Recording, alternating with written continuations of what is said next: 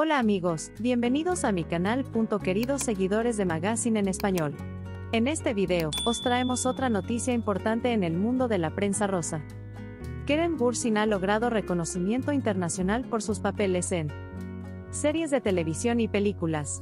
Sin embargo, en los últimos años, ha experimentado una explosión significativa en su presencia en las redes sociales. Su talento actoral, carisma y buena apariencia han cautivado a millones de seguidores en plataformas como Instagram, Twitter y TikTok. Los dramas en los que actuó fueron muy comentados y compartidos en las redes, lo que lo convirtió en un referente para los comentarios. Sin embargo, lo que hace especial a Kerem Bursin es que su influencia no se limita a promover sus propios proyectos. También usa su plataforma para abogar por causas sociales. Como prueba de ello, Kerem Bursin acaba de compartir dos potentes mensajes que apelan a la conciencia de sus 11 millones de seguidores. El primero de ellos se refería al calentamiento global. Esto es después de que la NASA considerara julio de este año como el mes más caluroso registrado. Es hora de actuar, él señaló.